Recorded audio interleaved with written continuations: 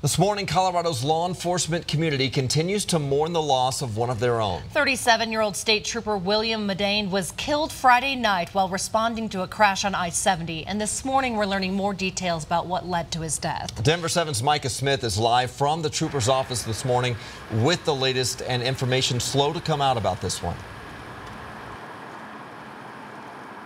It is, Brian. Trooper Moden was helping with a crash involving a 22-year-old woman and an 18-month-old baby who were both ejected from their car. Another driver hit Moden while he was responding to that first crash. This happened on I-70 East at mile marker 324 near the Peoria exit. State investigators have not released details on that driver, but say they are continuing to gather evidence, and this crash is still under investigation.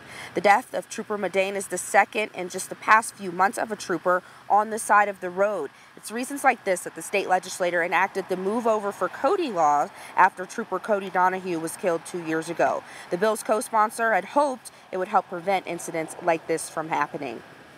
It breaks my heart because not only did that trooper's family just lose someone, the person who killed him, his, his or her life will never be the same again either.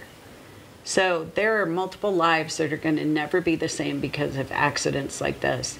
And I wish just writing a law would solve these problems, um, but unfortunately it doesn't.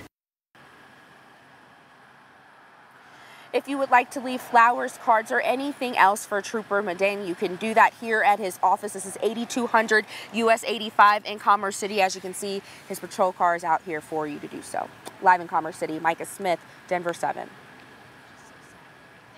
And you can also donate money to his family. We posted more information on how to do that on thedenverchannel.com.